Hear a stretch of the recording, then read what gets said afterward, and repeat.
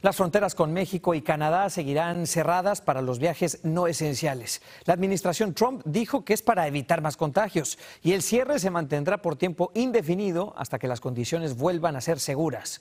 En la frontera sur, las reacciones. Si es para bien de nosotros, pues hay que, hay que hacer caso a las autoridades.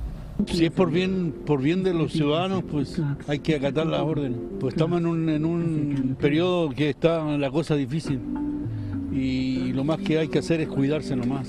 No, pues más porque a veces tiene la gente necesidad de venir para acá también. Y yo pienso que está mal. El cierre no afecta al transporte de mercancías, el comercio y a los trabajadores de salud.